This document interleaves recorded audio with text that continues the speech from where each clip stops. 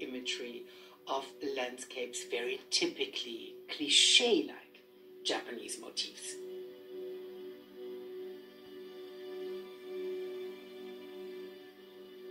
What he does and what makes it, I think, such a strong and imposing picture is not only its size, which is very ambitious for him at that time, uh, but also the fact that he uses these intense colors, which were not in the originals. He really brightens up, in particular, the, uh, the courtesan is just an explosion of color almost.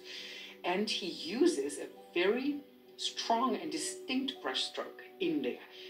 Very graphic, a lot of impasto. You have a sense of paint, which is all very different from the flatness of the Japanese prints.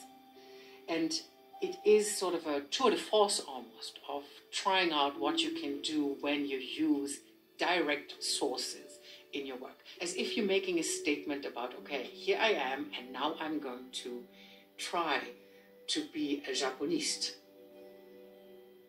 Making copies after, for example, the old masters was a very common way of learning for artists, also at the art academies.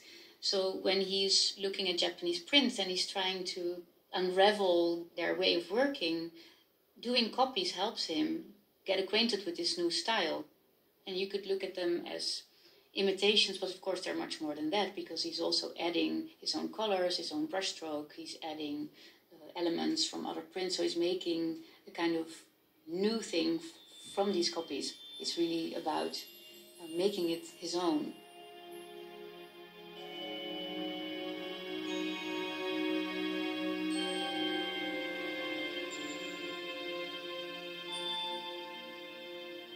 I saw Père Tanguy yesterday, and he put a canvas I had just done in his window. I've done four since you left, and I have a big one on the go. I'm well aware that these big, long canvases are hard to sell, but in time people will see that there's open air and good cheer in them.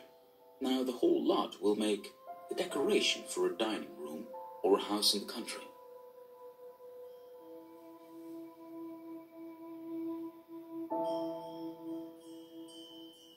While in Paris, Vincent refined his technique and absorbed the many artistic influences the city had to offer.